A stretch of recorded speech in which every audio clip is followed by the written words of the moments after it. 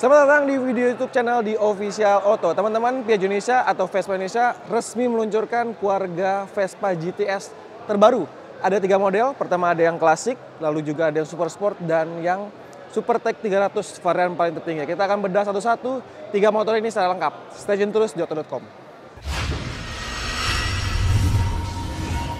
memperkenalkan the new Vespa GTS family. Oke,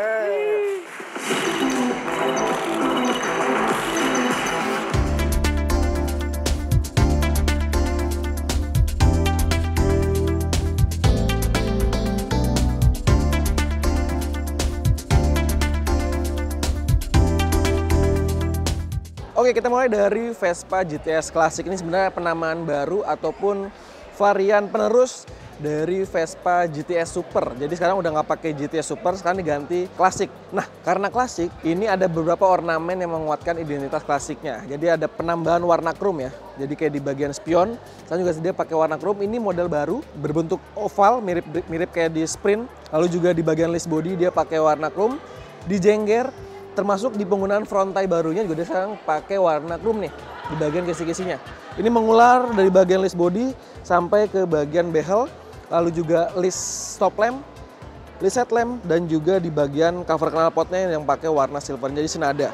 Sesuai dengan tema klasik yang dibawa dari Vespa Classic GTS 150. Di bagian depan tetap pakai teknologi LED, cuman sekarang dia punya visual baru nih di bagian ininya. Sekarang penanda horizontalnya punya gradasi melekuk gitu dan dia sudah eh, LED baik lampu dekat dan lampu jauh. Lalu di bagian ini juga sekarang dia punya desain yang baru ya. Ini sedikit berbeda dengan versi GTS Super. Dia sudah sudah pakai LED untuk lampu senjanya. Termasuk di bagian velg nih teman-teman. Kalau teman-teman lihat sekarang dia punya desain yang baru. Palangnya kayak mirip-mirip dengan Vespa Primavera. Berbeda banget dengan versi GTS Super yang terdahulu ya. Palang 5 besar. Sekarang dia bentuk mirip Primavera.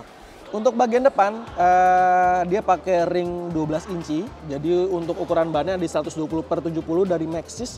Nah, yang membuat motor ini punya unsur kebaruan adalah sekarang ada uh, teknologi yang Piaggio sebut sebagai anti dive system. Ini memberi efek kestabilan lebih ketika uh, bermanuver, terutama ketika teman-teman melakukan deserasi. Ini ada linknya di sebelah sini.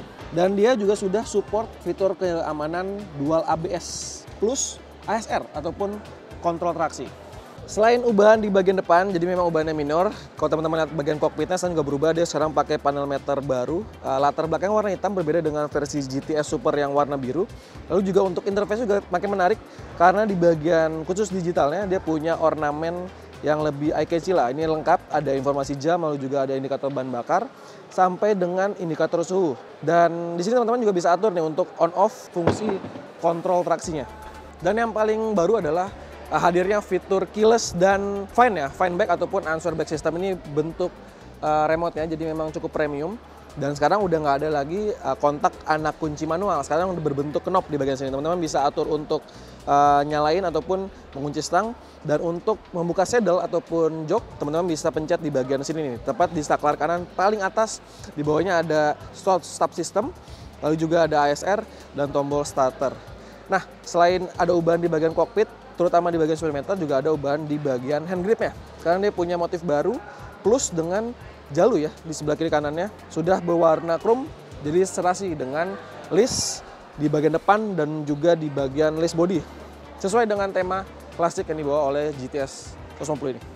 Ya memang dari keterangan teknisi Piaggio, jadi ini nggak ada ubahan dimensi maupun tinggi, ini sama dengan versi GTS Super terdahulu. Dan ada ubahan ternyata di bagian sini teman-teman, di bagian side panelnya. Sekarang dia punya motif baru, bermacam kisi-kisi gini, ini untuk memberikan efek dingin ya. Ini di, balik, di balik sini ada adalah komponen radiator. Dan karena bertema klasik, jadi nggak ada ornamen unsur-unsur sportinya, jadi ini tampil lebih polos. Dan versi ini dia warna green relax Warna ini pertama hadir di Vespa Primavera. Untuk memberikan unsur kebaruan ataupun tampil lebih fresh lagi nih. Ini sekarang dia pakai saddle dengan motif jok yang baru. Ini berbeda jauh dengan GTS Super yang terdahulu yang uh, modelnya monoton. Sekarang jauh lebih atraktif dengan motif-motif seperti ini. Dan ini sudah full kulit. Joknya ternyata juga empuk juga. Ciri khas Vespa GTS adalah adanya komponen footrest ataupun footstep ya untuk membonceng. Jadi berbeda dengan Primavera yang di sini jadi sedikit dikeluhkan oleh konsumen, tapi kalau untuk versi yang GTS sudah include dengan uh, footrest. Jadi teman-teman bisa buka atau tutup secara praktis di bagian sini. Sekarang kita akan lihat bagian belakangnya. Yuk. Di bagian belakang teman-teman ini ada ubahan yang cukup besar lah ya dibandingkan dengan versi terdahulu. Sekarang dia pakai stop lamp bervisual baru. Ini berbeda dengan versi GTS Super yang terdahulu. Dia sekarang pakai lampu malam ataupun DRL yang kotak ya. Ini cukup kontras, cukup terang dan sudah LED untuk lampu stop lampnya. Di bagian bawah ada komponen mata kucing dan Mika lampu sen yang baru. Ini sudah LED. Selain ubahan eksterior dan juga penambahan fitur, ternyata juga Piaggio melakukan ubahan ataupun kalibrasi di bagian komponen mesinnya. Sebenarnya masih pakai basis yang sama dengan versi sebelumnya, di mana dia pakai mesin 155 cc, iGate 4 tak, lalu juga 4 katup, pendingin cahaya yang injeksi. Tapi sekarang outputnya meningkat teman-teman. Sekarang tenaganya jadi 15,4 horsepower ataupun naik ya. Ini dibandingkan versi terdahulu ada di 14,4 horsepower sekarang jadi 15,4 horsepower. Sementara untuk torsinya sekarang menjadi 15 Nm dari semula 13,5 Nm. Ini ubahan tadi ternyata ada uh, kalibrasi di bagian camshaft dan juga uh, sedikit lah di bagian injeksinya ini membuat ada peningkatan output baik tenaga dan juga torsi. Tentunya ini akan membuat performa dari GTS klasik jadi makin powerful. Buat teman-teman yang tertarik membawa pulang GTS Classic, sekarang dia dijual dengan harga 78,8 juta on road Jakarta atau naik sekitar 8,9 juta lah dibandingkan versi GTS Super yang terdahulu. Ini dengan berbagai ubahan, ada kenaikan sekitar 8 jutaan. Teman-teman tertarik gak dengan GTS Classic 150? Kita akan lihat dua motor lagi.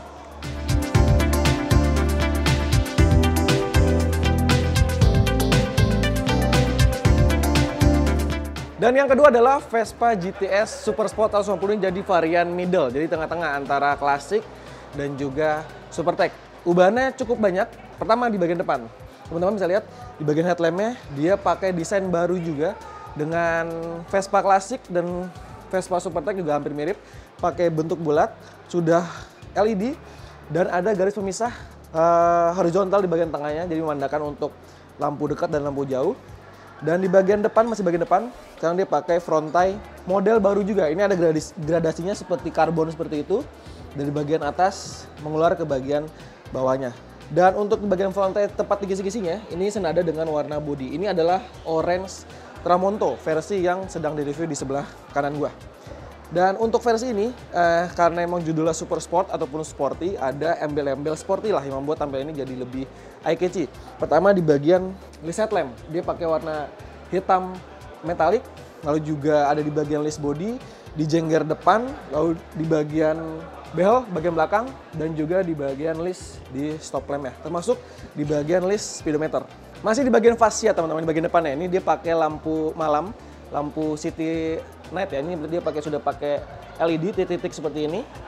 Dan di bagian kayak kaki dia pakai ring 12 eh, berbalut ban 120 per 70 yang sama dengan klasik untuk desain velgnya sebenarnya hampir mirip dengan Primavera ya tapi desainnya lebih tampil sporty jadi ini uh, visualnya mirip dengan Primavera tapi dia punya motif yang sedikit berbeda dan di bagian suspensi ternyata juga ada ubahan teman-teman dia sekarang pakai teknologi yang Piaggio sebut sebagai anti dive system ini yang memberikan efek kenyamanan ataupun kestabilan lebih dibandingkan suspensi sebelumnya.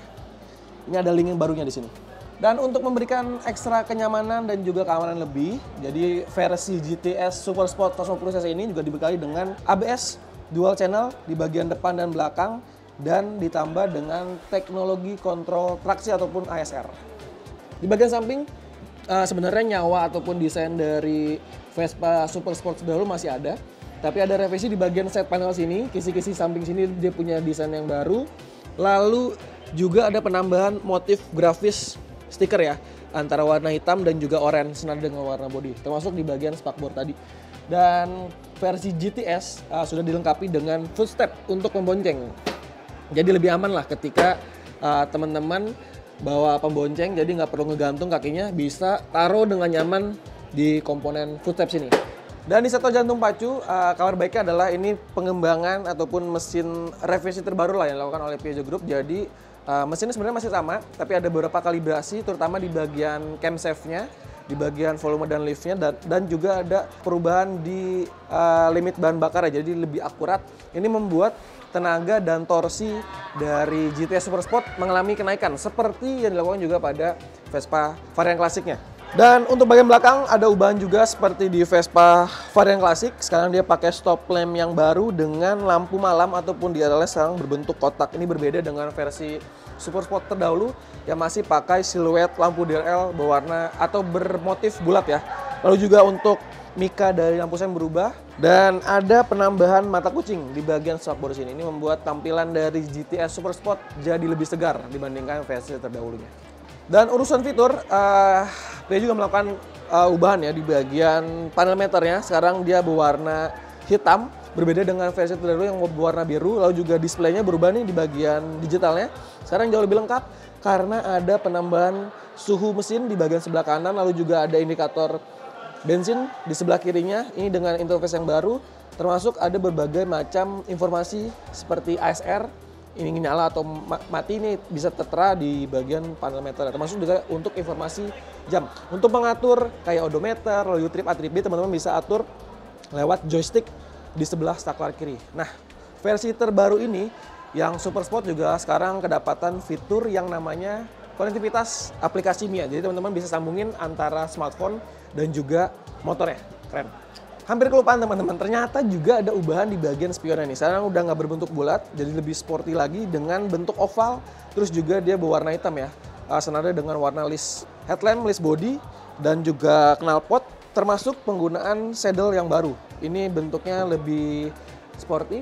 Di sebelah kiri ada perpaduan kulit dan sini ada teksturnya. Keren. Buat teman-teman yang tertarik membawa Vespa GTS Super Sport 150, sekarang harganya dijual dengan harga 84 juta 550 on the road Jakarta atau ada kenaikan sekitar 12 juta 150 dibandingkan Super Sport versi sebelumnya. Teman-teman tertarik gak?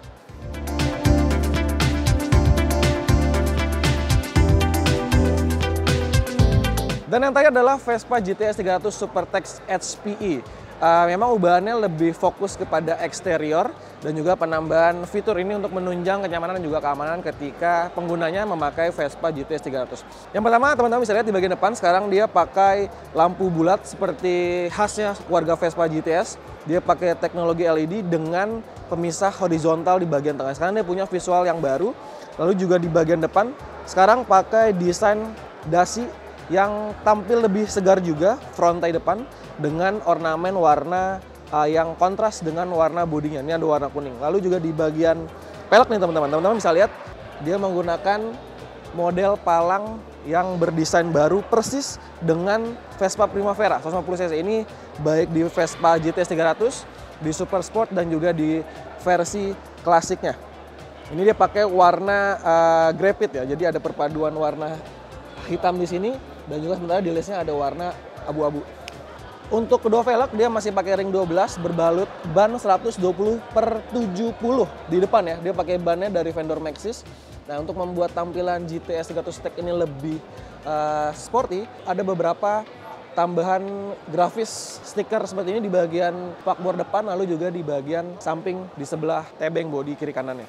Untuk menambah sektor kenyamanan dan keamanan juga Piaggio Indonesia ataupun Piaggio Group melakukan revisi di bagian suspensi teman-teman. Ternyata dia sekarang memakai sistem yang namanya anti dive system ini membuat uh, peredaman jadi lebih stabil, lebih nyaman lagi, utamanya ketika teman-teman melakukan deselasi keras. Jadi nggak terlalu uh, yang ambles banget, jadi dia akan membuang lebih cepat. Ini efeknya membuat kenyamanan dari Vespa GTS 300 Supertech jadi lebih baik lagi.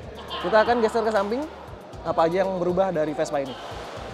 Teman-teman informasi, jadi yang sedang direview ini adalah warna grey quartzo matte. Jadi ada dua warna. Pertama yang grey ini dan juga ada yang warna biru, blue deep dinamakan. Nah, untuk versi yang ini dia pakai warna body yang matte sesuai judulnya, sesuai tema warnanya. Jadi agak-agak doff seperti itu. Dan dipadu dengan list body yang hampir senada dengan warna body utamanya. Nah, di bagian samping, jadi memang versi ini versi GTS 300 Supertech ini nggak terlalu berbeda jauh lah dengan Supertech terdahulu. Jadi memang konsep bodinya masih sama, tapi ada ubahan. Seperti di bagian saddle atau joknya sekarang menggunakan desain baru dengan grafis ataupun pattern yang berbeda antara bagian pembonceng dan juga pengemudinya nih di sini. Lalu versi GTS khas dia ada footstepnya di sini teman-teman. Jadi teman-teman tinggal buka. Jadi ini bukan opsional seperti di Vespa Primavera maupun Vespa Sprint. Nah teman-teman inilah tampilan belakang dari GTS 300 Supertech. Ini jadi salah satu spot yang paling menarik menurut gua karena memang ubahannya paling kentara nih. Karena dia sekarang pakai stop lamp dengan visual baru. Kalau dulu kan berbentuk bulat ya lampu di RL-nya. Sekarang dia berbentuk kotak dan sudah mengusung teknologi LED. Khas seperti gue bilang tadi, khas seperti keluarga Vespa GTS memang bentuk bodinya membulat, besar. Ini juga membuat dari Vespa GTS 100 Supertech ini jadi kelihatan bongsor. Sementara di bagian lampu sen juga dia pakai model baru, sudah LED sepertinya. Dan ada penambahan mata kucing di bagian spakbor. Dan untuk versi GTS ini yang 300 dia sudah mengusung dual cakram ya. Jadi di bagian depan sudah pakai cakram pun di bagian belakangnya. Dan ini sudah dilengkapi dengan dual ABS. Jadi di sensor roda depan dan juga di sensor roda belakang. Sementara untuk velgnya di belakang dia pakai ukuran 130 per 70 ring 12. Nah ini bagian cover knalpotnya juga makin menarik dengan sentuhan warna hitam. Dan untuk sektor mesin ini nggak ada perbedaan dengan versi terdahulu, jadi masih pakai jantung pacu yang identik dengan versi GTS 300 Supertech yang terdahulu di mana dia pakai mesin 278 cc HPA atau High Performance Engine 4 tak 1 silinder 4 katup pendingin cairan dan juga pengabut injeksi. Nah, racikan tadi ini dia mampu menghasilkan tenaga maksimal sampai 23,4 horsepower pada 8.250 rpm dan torsinya 26 Nm pada putaran mesin 5.250 rpm. Tadi mesin tadi dikawal dengan fitur keselamatan ABS dua channel tadi seperti gue bilang dan juga ada peranti kontrol traksi ataupun ASR yang disebut oleh Vespa Indonesia. Dan untuk fitur yang paling terbaru adalah penanaman fitur keyless teman-teman. Ini remote-nya dan ini udah nggak ada anak kunci lagi jadi ada knop putar termasuk juga include dengan fine backer ataupun answer back system lah kayak di motor-motor pada umumnya yang punya teknologi keyless. Dan versi GTS 300 Tech ini juga mendapatkan new TFT dengan visual yang lebih menarik dan gambar ataupun tata letak visual yang lebih segar ya dibandingkan dengan GTS Super Tech terdahulu. Dan di sini teman-teman bisa mengatur beberapa fungsi seperti navigasi turn by turn dan juga dia terkoneksi langsung dengan uh, teknologi konektivitas atau yang disebut sama Piaggio sebagai aplikasi MIA. Untuk mengatur segala informasi ataupun fungsi dari TFT, teman-teman bisa mengaturnya di joystick ada di saklar sebelah kiri dan dipindah untuk bagian saddle-nya pembukaannya di sebelah kanan. Jadi teman-teman bisa atur berbagai fiturnya lewat joystick sebelah kiri dan ada beberapa fungsi di sebelah kanan ya. Kayak contohnya ada untuk pengaturan ASR-nya atau kontrol traksi di bagian sebelah saklar kanan. Dan yang terbaru juga, kelupaan teman-teman. Ternyata dia sekarang menggunakan spion baru. Bentuk nggak bulat lagi. Dan ini mirip seperti di Vespa Sprint lah ya. Jadi bentuknya agak oval. Dan ini juga uh, sama seperti Vespa GTS Classic dan juga Super Sport. Dan buat teman-teman yang tertarik membawa pulang Vespa GTS 300 Supertech terbaru ini, Piaggio Indonesia membandrol dengan harga 163 juta 200 ribu rupiah on the road wilayah Jakarta. Teman-teman tertarik nggak? Ada dua opsi warna warna grey, dan juga warna biru.